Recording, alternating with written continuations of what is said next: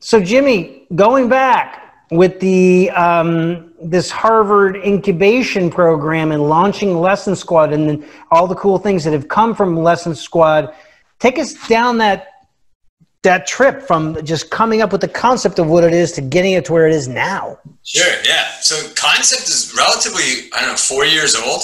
Just as a great example, this is going to run into the whole like sitting on things.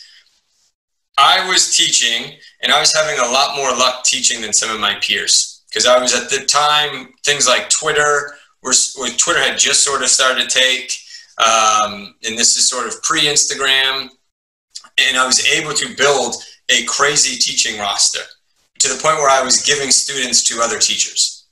Mm-hmm. And then it started to hit me. I was like, wait a minute, I know how to use these digital tools from playing in bands and being on the road and, and, and figuring things out. But there's all these other educators that didn't go that road and don't know how to use these tools. So I was like, what if we could make the tools for them? And so that was kind of the first idea that I jotted down. And then my next step was to do a proof of concept completely non-digital. So I literally had other teachers, I was giving them students, and they were putting a percentage in my mailbox, like literally dropping off an envelope of cash to me Smart. because I helped fill their roster. And I was like, okay, here's what we've learned. We learned that if we give the teacher students and they don't have to handle X amount of the work, they will pay for that convenience. So that was cool. And I happened to be, uh, I was consulting at the time for um, a venture-backed startup called Cosmo that Josh Hoffmanson, who's co-founder at Lesson Squad, was the yeah. founder of that company. And I was telling him what I had been doing, and he was like, "Do you want help? Do you want to help making that digital?" I was like, "Yes, I do." So then we did the first V1, and we launched that. We put some teachers on there, and then we started testing. And at that point, um, Josh had taken a break from the startup and had started going to Harvard Business School. So then, since he was at HBS, he applied for us to be in the Harvard Innovation Labs Venture Incubation Program. And so that's how we got in there, which was amazing. Like, I don't have a college degree. So for me to be able to kind of roll on to the Harvard campus and, and check things out and just sort of be in that community and see how it thinks and operates was amazing. I was so impressed, which I, I, wouldn't say expected to be, but just just by the culture that they had, at least from what I was exposed to, absolutely amazing the way that you know in the program we were in other companies rooting for each other the way that they so openly networked um, was really really great and we basically took you know we we got into it two separate times. And so we took two years and basically the whole time josh was in grad school and we tested everything with lesson squad from lessons to then okay can we add this piece of tech and expand it you know to be nationwide? Did that. Oh can we add retail? And then that became a big thing. Um, and so we really did our testing and got our full foundation there. Um, but for me that was a whole experience just more or less learning from the culture and then josh was kind enough where i got to even go sit in on a class at hbs yeah. which was a whole experience where they give you the case they say hey if you're going to come to the class here's the case, and you have to read the the case and then go in and participate. And that was uh, that was super cool. But yeah, those two years were crucial because it allowed us to make all the mistakes that you have to make when building a company. Right. You have to try everything, and then thankfully it netted out to where we had things when we really launched the whole foundation.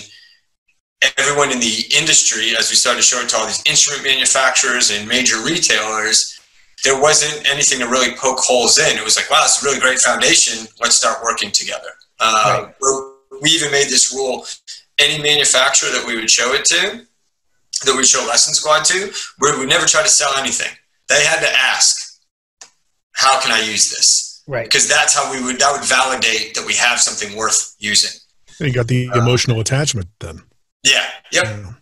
And so that's where we're at, and I mean, we're still an early stage company, and figuring that out. But man, the last like 10 weeks have been a, a roller coaster in growth, but also like the, the, occasional dumpster fire. Like, oh, the tracking link for this retailer isn't working.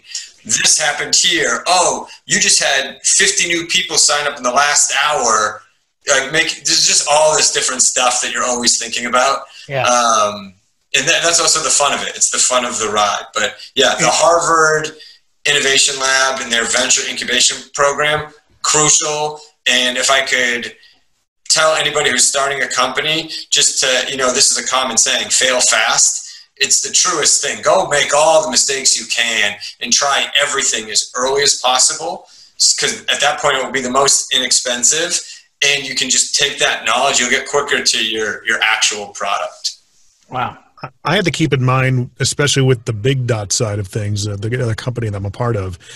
In the beginning, we would hit stuff that would just make I would feel embarrassed, like you know, I can't believe that this is uh, this is going to make us look bad, kind of thing, and that's going to happen over and over again. You don't realize that in the beginning until it happens over and over again. Great, and, man. And once you realize that, dude, even Amazon screws up and makes themselves look bad. It's okay. Yep. You know, it's, yeah. it's literally part of it. Yeah. I'm super glad you brought that up. Yeah, there were definitely times where, because I'd been, you know, on the retail side, at least in the industry since I was like 16, 17, working at a drum shop and figuring things out. So I had all these relationships from when I was a kid. Like I was going to NAMM at 17, 18 years old.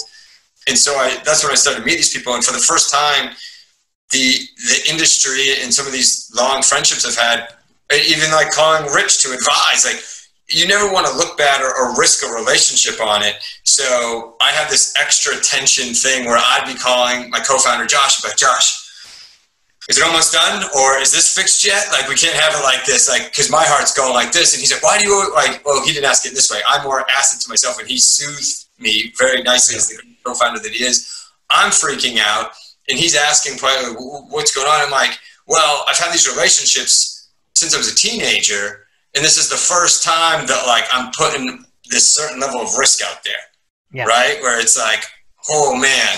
Um, but yeah, so exactly what you're saying. You are going to look bad at times. Yeah. You know, but you, I, I don't think you'll ever look bad as you think you actually do, unless it's something catastrophic.